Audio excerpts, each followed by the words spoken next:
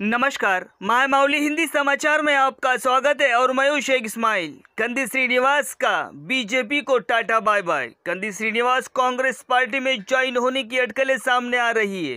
कंदी श्रीनिवास की पहचान बीजेपी पार्टी से हुई, लेकिन इलेक्शन के सामने माजी मंत्री रामचंद्र रेड्डी और पीसीसी अध्यक्ष रेवंत रेड्डी से मुलाकात के बाद इरादों में हुई तब्दीली। पार्टी में क्या मतभेद थे, इसकी पहचान नहीं हुई, लेकिन श्रीनिवास रेड्डी आज कांग्रेस की शाल ओढ़ेंगे। इससे ये पता चलता है कि राजनीति में कुछ भी हो सकता है। इसका मतलब क्या से क्या हो गए देखते देखते ये सब तो ठीक है कांग्रेस में खुशी का समंदर आ गया। ज़िले के कांग्रेस पार्टी में नई जान और एक अनोखी उमंग आ गई। माय माउली दूसरे पार्ट में आपको पूरी कहानी बताएँगी। तब तक आप बने रहिएगा माय माउली हिंदी समाचार के साथ।